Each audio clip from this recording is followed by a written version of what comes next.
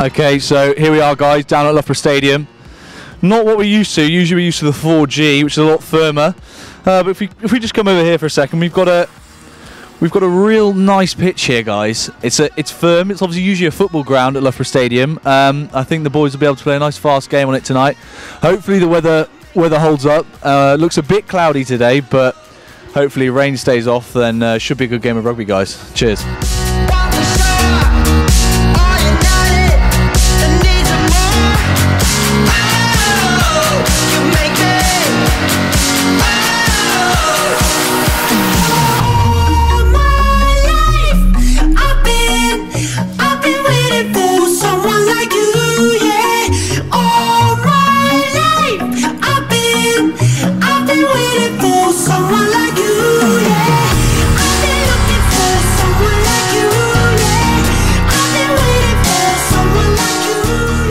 For Loughborough, obviously an important one. What do you think, sort of, the importance of this game on you know going ahead forward for the season, Andy?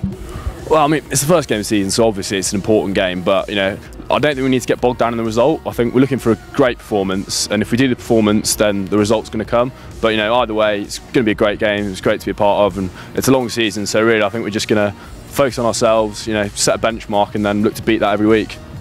And as always, Andrew, I want you to uh, just select three players for me, three players to look out for tonight, Three players to look out for. Um, other than yourself. Ah, well, unfortunately, you're not on the pitch tonight, so that would be my first choice. But um, I think um, Tim Bittram, uh, otherwise known as Littram, quite a good player. Um, you know, great off both feet, good skills. You know, really exciting player to watch.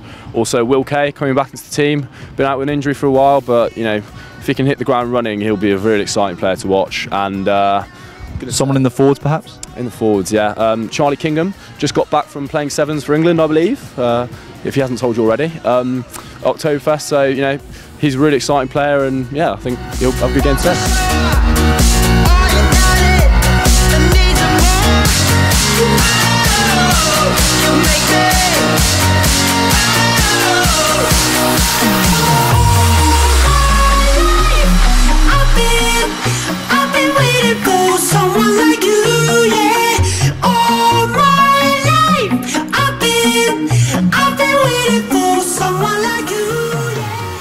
Joined here with Alan Bazza, the Director of Rugby for Loughborough Rugby. Uh, Alan, we've just watched the first half of Loughborough versus uh, Hartpury. What do you think's gone well for the boys?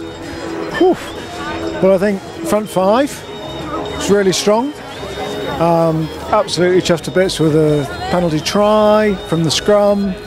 That, that's quality. Um, yeah, I think it's in general it's gone really, really positively. Can't wait for the second half. So, Jack, you've just had an emphatic win against Hartpury at the stadium in front of all your fans. How are you feeling?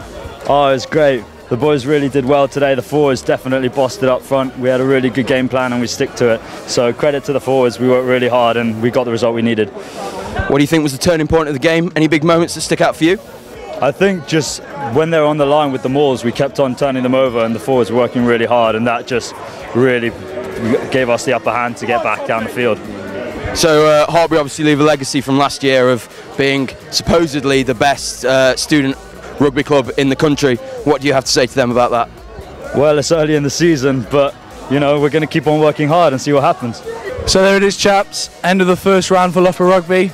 As you can see from the scoreboard, 36-15 to Loughborough. Excellent result. Possibly not what the uh, you know the professionals would have thought would have happened, but there we go. 80 minutes are up. Loughborough have got the points at home. Um, looking forward to the away game at Hartpury. And at the end of the day, points on the board for Loughborough and onwards and upwards for Northumbria next week. Cheers, boys.